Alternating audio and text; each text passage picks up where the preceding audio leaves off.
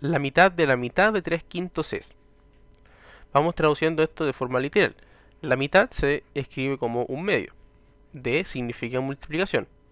La mitad es nuevamente un medio. D es nuevamente una multiplicación. Y la fracción 3 quintos es solamente la fracción 3 quintos. Entonces resolvemos esta operación. Arriba multiplicamos 1 por 1 por 3, 3. Y abajo 2 por 2, 4. Y 4 por 5, 20. Respuesta correcta, alternativa C.